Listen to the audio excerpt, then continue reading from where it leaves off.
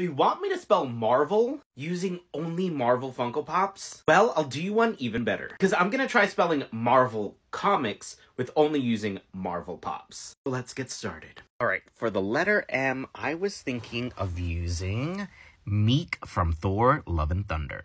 And for the letter A, let's see. Ooh, let's use Abomination from She-Hulk. Alright, and then for the letter R, let's see. Oh, let's go ahead and use Rhino.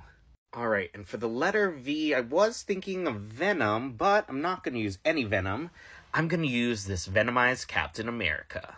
Alright, now we are on to the letter E. Oh, let's go ahead and use Ebony Maw from Avengers Infinity War. Now for letter L, I was thinking of using Longshot from X-Men. Alright, now for the letter C, let's go ahead and use Cosmo from Guardians of the Galaxy Volume 3. Now for the letter O, let's go ahead and use Okoye from Black Panther Wakanda Forever. For the letter M, we're going to use Miss Marvel. And for the letter I, why not use Ironheart because she's right below her. And since we're already here for the letter C, let's go ahead and use Cyclops.